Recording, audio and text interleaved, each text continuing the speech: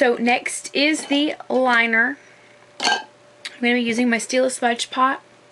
And it's just a pretty heavy black line. Uh, I'm going to wing it a little, but nothing too extravagant.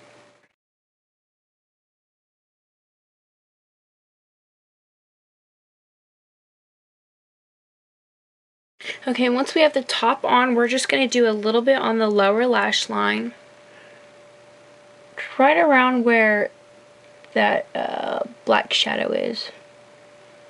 I did almost forget uh, the white liner just to the bottom the waterline.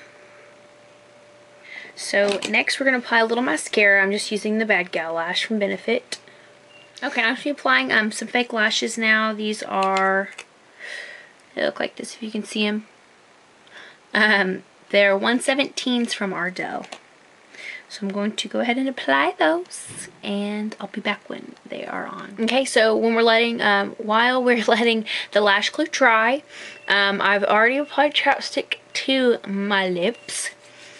Um, so next is going to be my Physicians Formula Concealer. Okay, so once um, the concealer has had some time to dry, I'm just using this is my Rimmel in Obsession Red Liner. And I'm just going to line the lips.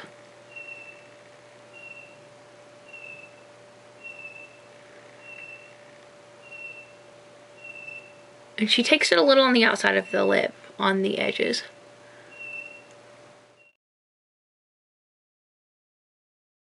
Now I'm just taking, um, man, cream cherry. I think this was like Love My Lips. I really don't remember what brand it was. It doesn't exactly say on the back. But I'm just going to fill the lips in with this cream cherry red.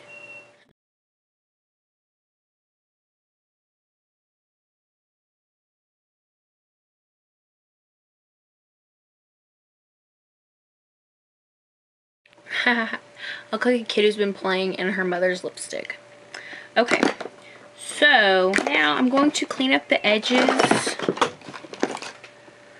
Just taking a Q-tip and getting rid of what looks bad. And then I'm going to go to my foundation and taking a concealer brush, just touching up around the lips Okay. Um. Oh, almost forgot my little beauty mark. Let's see, it would be this side. Um, I'll just take my Stila smudge pot and the 209 brush. Yeah, make our little beauty mark.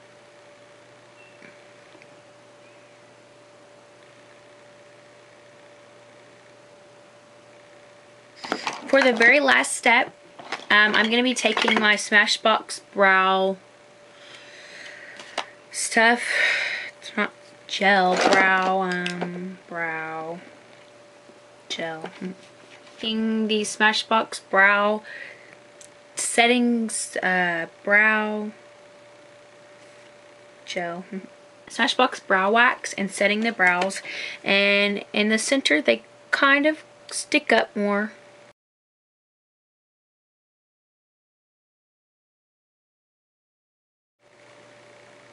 All right, now we are all done with our Cosmopolitan April issue cover look. Um, this was Lady Gaga, the look.